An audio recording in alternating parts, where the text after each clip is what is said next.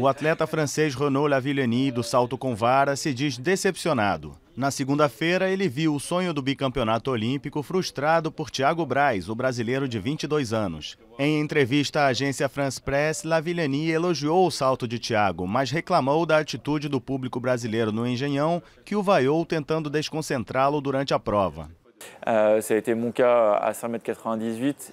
Quando saltei 5,98 e tentei saltar os 6 metros, foi a primeira vez que fui vaiado fazendo salto com vara, sendo que eu não tinha feito nada ao público brasileiro.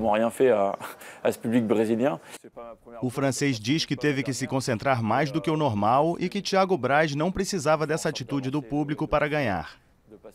Eu estou juste vraiment très déçu et très frustré de ça parce que eu estou realmente muito decepcionado e muito frustrado, porque para mim isso tirou a magia dos jogos, tirou esse sentimento de competição incrível. Infelizmente, eu estou indo embora com uma imagem negativa do público brasileiro. E é uma pena, porque eu não acredito que isso seja a realidade. Mas o que eu vivi ontem foi bem assim. Pourtant, ce que j'ai vécu hier était, était bien comme ça. Lavillenie pediu desculpas por ter comparado a atitude do público brasileiro à dos alemães nazistas que vaiaram Jesse Owens, um negro americano, na Olimpíada de 1936 em Berlim. Ele disse que no calor do momento foi difícil pesar as palavras.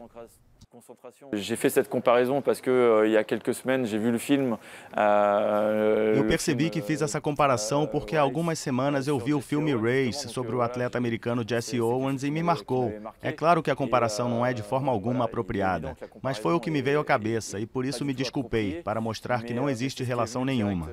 Direct en tête et donc voilà c'est pour ça que j'ai tenu à m'excuser et, et, à montrer que il y avait voilà il y avait aucun rapport. Recordista mundial indoor com 6 metros e 16, Lavillenie saltou 5,98 na segunda-feira. Thiago Braz atingiu a marca de 6 metros e 3 centímetros e ganhou uma medalha de ouro no atletismo que não vinha para o Brasil desde Pequim 2008, com uma imagem no salto em distância. A partir do momento que o Thiago a passé 5,93, ils ont complètement switché. Euh, et à partir de ce moment-là...